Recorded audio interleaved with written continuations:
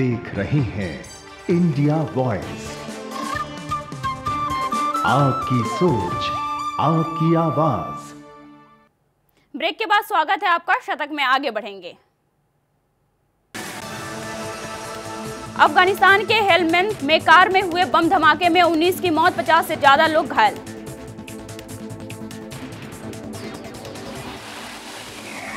Iraq की अल नूरी मस्जिद में बगदादी बना था खलीफा। आईएसआईएस ने उसी को उड़ाया। शंघाई सहयोग सम्मेलन ने मोदी में पाकिस्तान का नाम लिए बगैर कहा था कि आतंकी गुटों पर बगैर सफ़ाई दिए कार्रवाई की जानी चाहिए। भारत की आबादी अगले सात साल यानी 2024 तक चीन से ज़्यादा हो जाएगी। इस समय तक दोनों देशों में करीब 144 करोड़ लोग रहेंगे। भारत को बिजली के लिए 48 करोड़ एडवांस में देगा यूएस मोदी के दौरे से पहले ऐलान। अमेरिका ने सीरिया के फाइट जेट को मार गिराया है, जिसके चलते रूस और अमेरिका आमने सामने आ गए हैं। ब्रिटेन की राजधानी लंदन में 27 मंजिला टावर में बुधवार रात भीषण आग लग गई। कई लोगों की मारे जाने की आशंका, जबकि 30 से ज़्यादा लोग घायल बताए जा रहे हैं। अमेरिकी प्रेसिडेंट डोनाल्ड ट्रंप ने ट्वीट कर कहा कि नॉर्थ कोरिया से निपटने में नाकाम रहा चीन। जर्मनी के बर्लिन में एक ऐसी मस्जिद बनी है जहाँ पुरुषों के साथ महिलाएँ भी नमाज़ पढ़ती हैं। पुर्तगाल में लगी भीषण आग आग से बचने के लिए 12 लोगों ने पानी की टंकियों में 6 घंटे बैठकर जान बचाई। ने भतीजे से छीना पद, बेटे मोहम्मद बिन सलमान को बनाया काउन प्रिंस नोटबंदी की मार झेलने के बाद अब जीएसटी ने दिल्ली के व्यापारी के माथे पर पसीना ला दिया है। सरकार के इस फैसले के बाद घबराया कारोबार। रिलायंस जियो के ग्राहक आधार में वृद्धि और इसके चौथी तिमाही पर मुफ़्त ऑफ़र में उद्योग के राजस्व में 11.7 फ़ीसदी की सालाना गिरावट आई है। हफ़्ते के अंतिम कारोबारी दिन एशियाई बाजारों में सुस्ती का माहौल नज़र आ रहा है और जापान का बाज़ार नेकेई सपाट होकर 20,110.5 के स्तर पर कारोबार कर रहा है। आईफोन निर्माता कंपनी एप्पल से केंद्र सरकार ने पूछा कि वो भारत में कितना निवेश करेगी और कितने लोगों को नौकरी देगी। टाटा ग्रुप की कंपनी टाटा पावर ने 4000 मेगावाट के मुंदड़ा पावर प्रोजेक्ट को इक्यावन प्रतिशत हिस्सेदारी के महज एक रुपये में बेचने का प्रस्ताव किया है।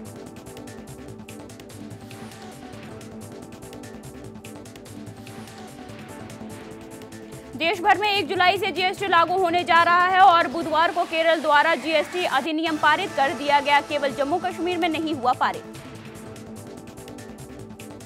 आतंकियों पर निगरानी और उनके बारे में सूचनाएँ साझा करने के लिए बने नेट ग्रिड के पास अब आम लोगों के पैन रिकॉर्ड्स और टैक्स डेटा भी उपलब्ध होंगे।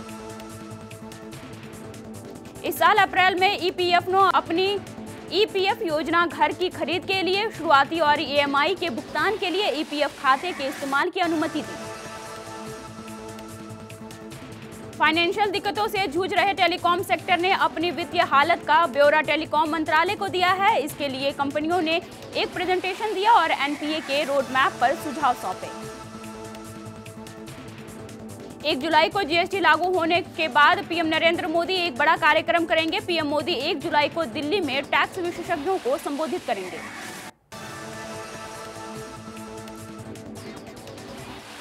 Bharat hockey world league semifinals के अंतिम चार में स्थान नहीं बना पाया है। गुरुवार को इस क्वार्टर फाइनल में मलेशिया ने तीन दो से हराकर सेमीफाइनल में प्रवेश किया।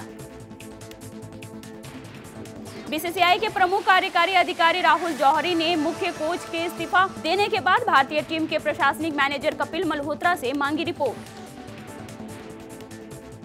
New Zealand cricket team के विकेटकीपर और बल्लेबाज लियोक रोंकी ने अंतर्राष्ट्रीय क्रिकेट जगत से संन्यास ले लिया है।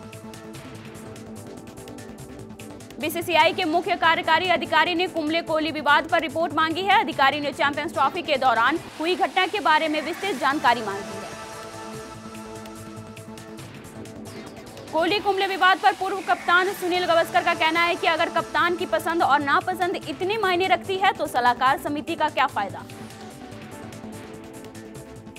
अनिल कुंबले के टीम इंडिया के मुख्य कोच पद से इस्तीफा देने के बाद सीएसी का टीम का काम बहुत बढ़ गया है। इस पूरे विवाद के बीच रवि शास्त्री के लिए राह बनती नज़र आ रही है। इससे पहले सचिन गांगुली और लक्ष्मण ने कोहली और कुंबले से अलग अलग बात की थी। इस टिकड़ी पर ही टीम इंडिया का अगला कोच चुनने की ज़िम्मेदारी है। सूत्रों के हवाले से खबर है कि कोच कुंबले और कप्तान कोहली में छह महीने से बातचीत बंद थी। भारत के बैडमिंटन खिलाड़ी किदाम्बी श्रीकांत ने ऑस्ट्रेलिया ओपन सुपर सीरीज़ के क्वार्टर फाइनल में अपनी जगह बना ली है। श्रीकांत ने पुरुष एकल वर्ग के दूसरे दौर में वर्ल्ड नंबर वन खिलाड़ी सोन वॉन हो को 15, 21, 21, 13, 21, 13 से मात दी। रजनीकांत ने दूसरी फ़िल्म साइन कर दी है वही काला फ़िल्म को लेकर तैयारी में जुट गए हैं। भारत में सफलता पाने वाली बाहुबली 2 को विदेशों में भी काफ़ी सराहा गया है। बाहुबली 2 को अंतर्राष्ट्रीय फ़िल्म फेस्टिवल में ओपनिंग के तौर पर दिखाई जाएगी। ओम पुरी की मौत के बाद उनकी पहली पत्नी सीमा कपूर उन्हें काफ़ी याद करती हैं। हाल ही में कहा कि मैं ट्यूबलाइट ज़रूर देखने जाऊँगी क्योंकि उस फ़िल्म में ओम है। निर्देशक कबीर सुपरहिट फ़िल्म देने के बाद अब शाहरुख खान के साथ फ़िल्म बनाएँगे। टीवी पर नागिन के रूप में मशहूर हो चुकी मोनी रॉय बॉलीवुड में अपने डेब्यू के लिए तैयार हैं। संजय दत्त की बायोपिक और कबीर खान की टाइगर ज़िंदा का दर्शक बेसब्री से कर रहे हैं इंतज़ार। दोनों फ़िल्मों का बॉक्स ऑफ़िस पर ज़बरदस्त टकराव होने का अनुमान। जगह जासूस के बाद प्रमोशन के बाद कैटरीना कैफ बुधवार की रात आमिर खान के साथ ठग्स ऑफ़ हिंदुस्तान की शूटिंग के लिए माल्टा रवाना हो गई। अभिनेता सिद्की की आग में फ़िल्म बाबू मोशाए बंदूकबाज 25 अगस्त को रिलीज़ होगी। इसमें बाबू के जीवन के उतार चढ़ाव को दर्शाया गया है। फ़िल्म राग देश का ट्रेलर संसद भवन में लॉन्च होगा। फ़िल्म के निर्देशक का कहना है कि स्वतंत्रता संग्राम के नायकों का सम्मान करने के लिए किया जा रहा है। कपिल शर्मा शो के फैंस के लिए बड़ी खुशखबरी है। खबर है कि चंदू चायवाला भी कपिल शो पर वापसी कर सकता है। अक्षय कुमार की फ़िल्म टॉयलेट एक प्रेम कथा का ट्रेलर रिलीज़ किया गया है और फ़िल्म के ट्रेलर को लोगों ने काफ़ी पसंद किया है। फ़िल्म ट्यूबलाइट आज हुई release. Salman, Sohail Khan, starrer film में शाहरुख खान गेस्ट अपीयरेंस देते नज़र आएँगे। दर्शक बेसब्री से इस जोड़ी को बड़े पर्दे पर देखना चाहते हैं। फ़िलहाल मेरे साथ बुलेटिन में इतना ही। देश और दुनिया की तमाम खबरों के लिए बने रहिए इंडिया वॉइस के साथ।